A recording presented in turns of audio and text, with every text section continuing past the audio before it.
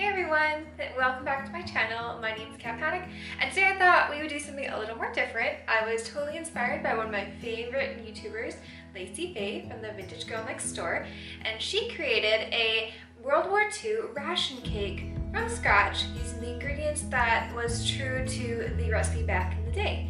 So I thought I would do the exact same cake featuring my favorite canister set from the 1950s. We have the cake here, all ready to go. And stay tuned and I'll show you how I made it and I'll post the recipe on the side. Set your oven to 350 degrees. And starting with my vintage nesting bowls, I'm going to separate the dry ingredients and the wet ingredients in separate bowls. I'm going to get out my measuring cups because I'm going to need them for this whole recipe. I'm starting with, the flour. I'm going to use one and a half cups of white baking flour and I'm going to put them in one bowl. I'm then taking one whole cup of white sugar and I'm going to put that in a different bowl.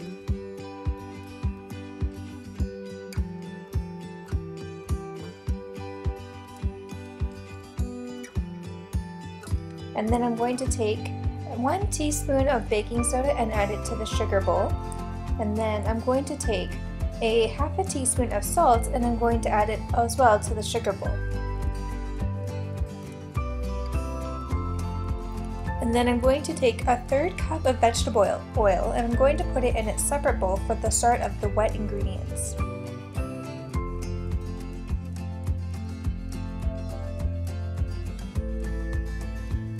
I'm just grabbing my vanilla extract. I'm going to use a teaspoon of that and add it to the wet ingredient bowl as well.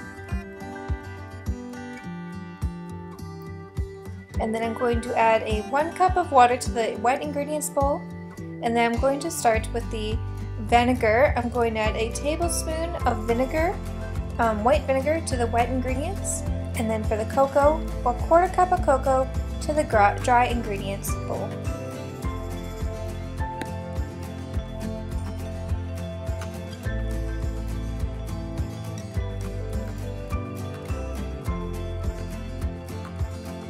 Now we have all the ingredients and I'm going to start combining the dry ingredients by pouring one bowl into the other.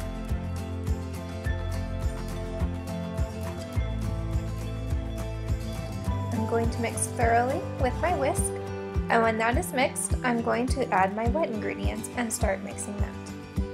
I'm just going to talk a little bit about my vintage Hoosier that I'm baking on right now. This is a 1920s vintage Hoosier that I repainted because it needed a little extra love and I also wanted it to suit the kitchen.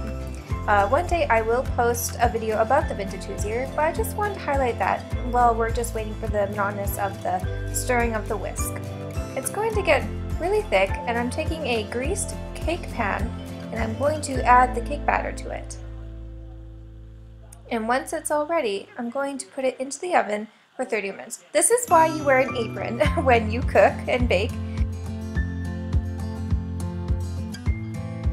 Now that I've dusted myself off, I'm going to show you my cute vintage cake cake holder that I'll be putting this cake in. This cake holder matches the canister set that I was showing you guys earlier on. This is a 1950 set that I got at an antique store and I absolutely am in love. So we're going to put the cake in for 30 minutes. And I'm going to test that batter. it's actually super delicious, you guys. You have no idea unless you make this cake.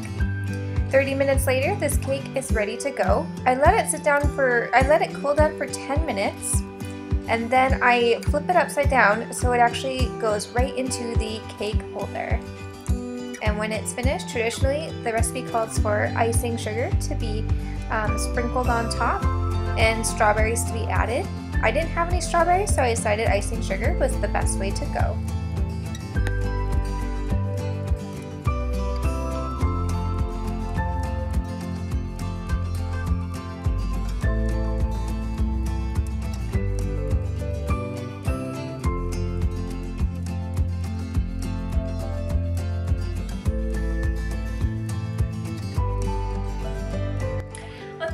Everybody for watching how I made the World War II ration cake.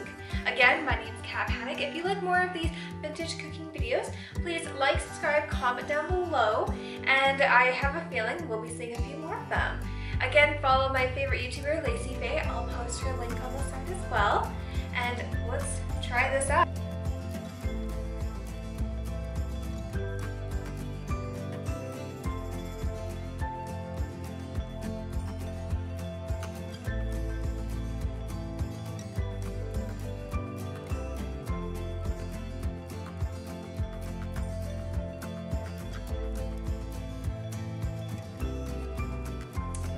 Let's try it out.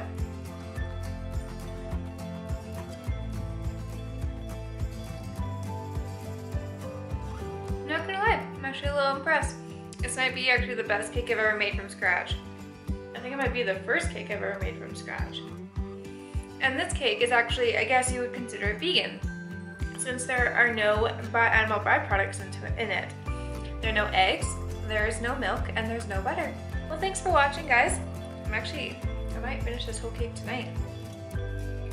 Mm -hmm. I can dig it. I can dig it. Going down just a little bit easier than I thought it would.